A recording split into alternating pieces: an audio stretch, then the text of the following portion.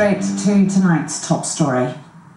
And police say it was a miracle that no one was killed after a dissident car bomb exploded outside Newry Courthouse last night. Police officers were given just 17 minutes to evacuate the area before it exploded. One eyewitness who drove past the bomb seconds before it went off says he cannot believe how lucky he is to be alive. Sharon O'Neill reports.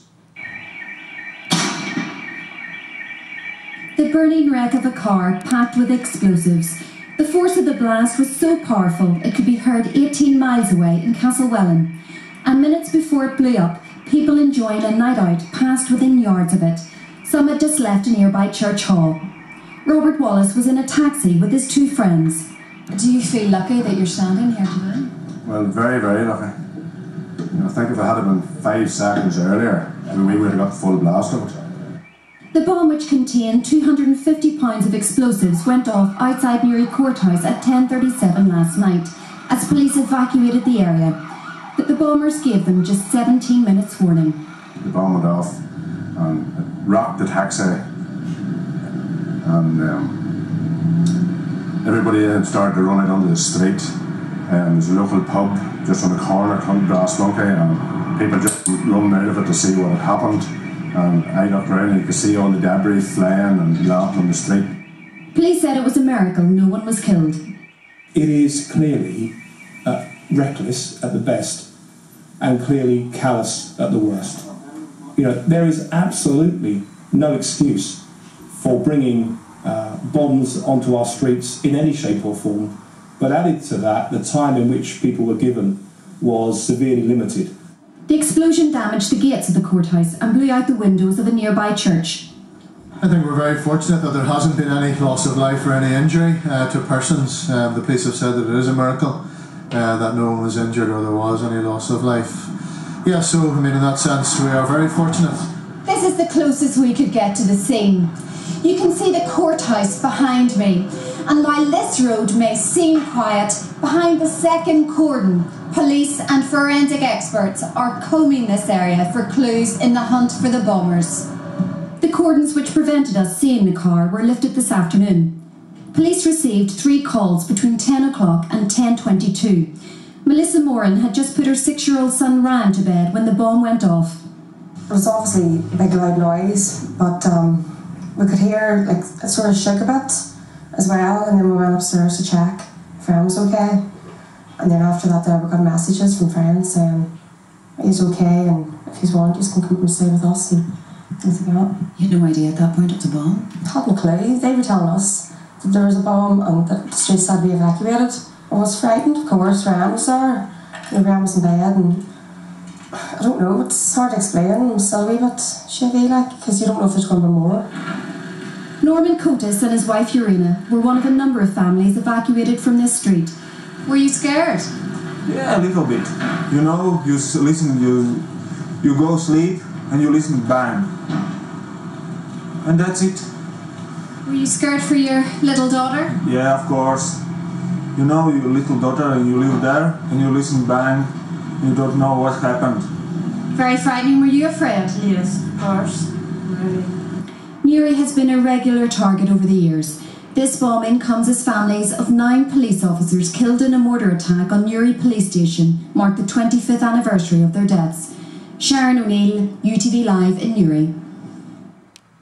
Politicians have been united in their condemnation of last night's attack. It's the latest incident in an escalating dissident Republican campaign, as Tracey Magee reports.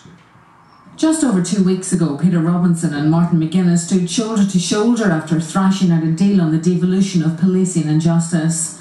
But even while the parties were locked in the hothouse negotiations, the dissidents were making their presence felt. A pipe bomb was thrown at Old Park Police Station in North Belfast. Last night's attack in Newry was far more sophisticated than a pipe bomb, but it's as much the inadequacy of the warning as the size of the bomb that has caused outrage today. Police were given only 17 minutes to evacuate the area. It's not the first time dissidents have given an inadequate bomb warning. In 1998, police unwittingly guided shoppers towards the £500 car bomb planted in Omagh by the real IRA. We all remember the deadly consequences of that. For those bereaved in that atrocity, last night was a chilling reminder. Terrifying again that, uh, that these people haven't learned any sense from, from the last Omagh. You 31 innocent souls lost Omagh. Surely they should have learned something. The dissident message on policing and justice is not a subtle one. On Friday night, a van containing a mortar bomb was abandoned outside a police station in Keady. Last night, the bomb was left outside Newry Courthouse. Dissident opposition to devolution is clear, but local nationalist politicians insist they have no support. I think the intention of, of these people is really to cause despair, uh, to challenge the political progress that's been made. It's no surprise that they've stepped up their activities when we have begun to make some progress. It's no surprise also that they're attacking uh, the, a courthouse at the time that police and justice powers are being transferred across to Ireland. Violence serves no purpose whatsoever. The people who are responsible for this have no support in this area and they have no direction whatsoever. The attack has been widely condemned today. Well, this is the appalling vista, the memory that people will have reawakened and rekindled within them of what the Troubles were all about. It's the past, we don't want it to be the present, and we certainly don't want it to be Northern Ireland's future. Speaking in the Assembly, the Ulster Unionist Danny Kennedy accused the Chief Constable and the Secretary of State of underestimating the dissident threat. I and my party have been concerned for some time that the threats posed by Republican dissidents have been viewed with a certain amount of complacency by the Chief Constable and his senior command, and by senior political figures, including the Secretary of State for Northern Ireland, in the mistaken belief that these individuals were unrepresentative and lacked the manpower to cause serious problems.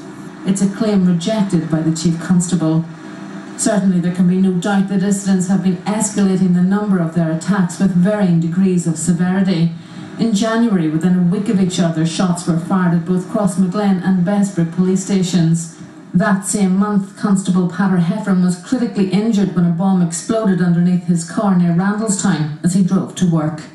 So while the politicians continue to grapple with the devolution of policing and justice, here at police headquarters they're dealing on the ground with those intent on death and destruction.